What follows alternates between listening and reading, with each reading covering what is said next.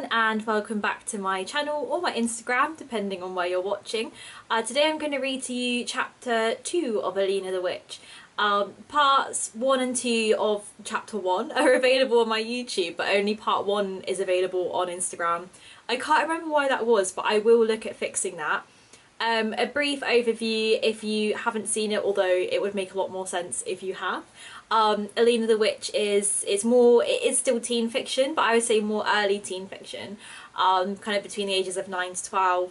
Uh, and the story just follows the life of Alina, who lives in a family of witches, uh, a coven of witches, and she attends a normal school, but she herself is a witch. Um, she just wants to blend in, but her family are not allowing that to happen and chapter two begins um, following a conversation from chapter one of all of the Crofts, all of the witch family sat around the table, and Alina's best friend Jamie has just turned up and has joined in the conversation.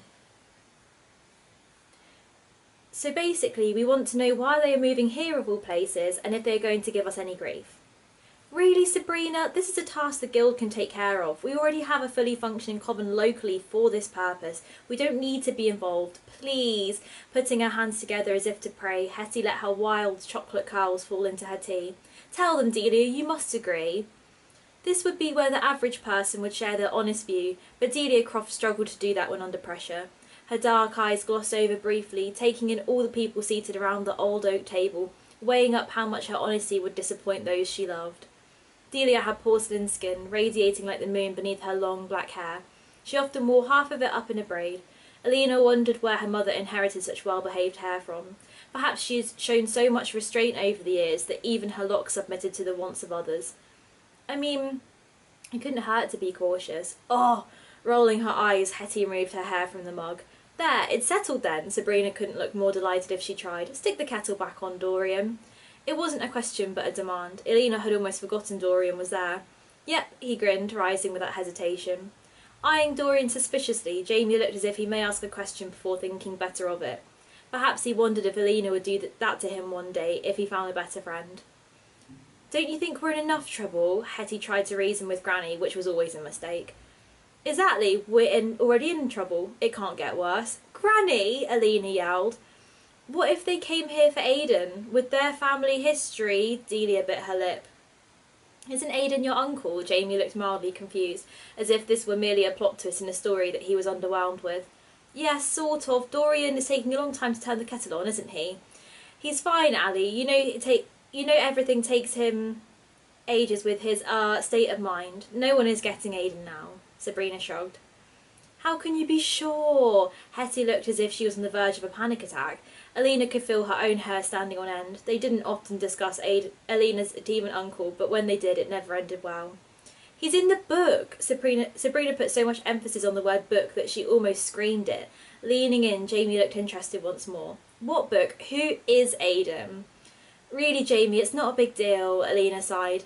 Not a big deal, Hetty squeaked. Granny only birthed the demon who caused nothing but chaos and couldn't be cured, so we trapped him in a lab, except that only works with genies. Then Sabrina here falls in love with a chef who's the only man alive to not want her back, so she made a love potion so powerful she pretty much breaks his entire brain, so that the first thing he does with the lamp is clean it. Then Aidan gets loose and attacks loads of people. We nearly don't get him back in the book we created because Delia falls in love with Buff the freaking Demon Slayer and Helga's yelp followed by aggressive hissing cut Hetty off. Otis, Delia's familiar, had bitten her tail. That's enough! Granny silenced them all.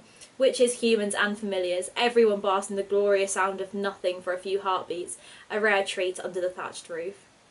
Where did you get that? Sabrina leapt up, sending her own familiar Iggy flying off her lap. The grey Sphynx cat hissed before disappearing under the table, snapping her head round to see the sudden change in what the sudden change in mood was all about. Alina's own heart skipped a beat at the sight in the doorway. You asked for the book. Dorian had had the permanent expression of someone who had just woken up. It was hard to imagine what he was like before he met Sabrina. He had dark blonde curls tucked neatly behind his elvish ears, his sharp features softened by the warmth in his cheeks. The large black book in his hands looked very out of place, with its red pentagram glow gleaming under the fluorescent glow of the hall light. Have I upset you? No, no, it's fine. Just put it on the table. If you ever find the book, give it to me. Remember that, Dorian. Seeing Sabrina so unsure was chilling. Alina pulled her cardigan tighter and shrunk into her chair. Stealing a glance at Jamie, she prayed he would still be her friend after this. Having witches for family was one thing, but a demon uncle trapped in a book, that would be a step too far for most. Can me and Jamie be excused now? Oh, what? It's fine, Ali, I don't mind, Jamie whispered, piercing her eyes with his pale blue orbs. You don't have to be polite, she pleaded in response. The book is here, it's okay, no one has to panic. Sabrina looked quite the opposite as someone who was not panicking, an expression that was completely foreign in such a confident face. Silence fell once more while the witches caught their breath. Chewing her lip, Granny stared at the book. Hetty stared everywhere but the book. Delia focused on Alina, who was trying to decide whether Jamie secretly wanted to leave but was too shy to say. He stared at the book with an expression that could, she could not possibly read. Dorian looked confused as always. Then Sabrina began to laugh. What now? Hetty snapped. Did you really call Alina's dad Buff the Demon Slayer? Please, Delia almost sobbed. Let's change the subject. That was the most Alina had ever heard about her father. She was unsure how she should feel. Confused, intrigued, she felt tired. What can we even do before the Huttons get here? Iggy sulked. The Sphynx cat often relished in disagreements, but it seemed even he was weary of the debate. Aidan's presence was draining, even if he was in a book. All we can do is wait. Put him away, Sabrina. Granny did not need to say Aidan's name for Sabrina to know exactly what she meant. So it's obviously like a little bit shorter that one. Um, chapter one's not very long either. The chapters I think are going to be a lot shorter than Turning of the Tides because it's just a different style of book.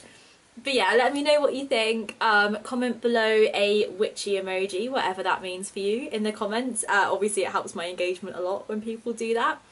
Um, but yeah, let me know what you think have a listen to Turning of the Tides again if you need to and um, I am obviously at the end of the week I'm going to be posting a poll so you can choose which one you prefer between the two projects and whichever one gets the most votes I will carry that one through to completion. Um, obviously I will do all of them hopefully in time but right now I just don't know which one to start with. I like them both. I don't know. I'm so confused. Help me out. bye bye everyone.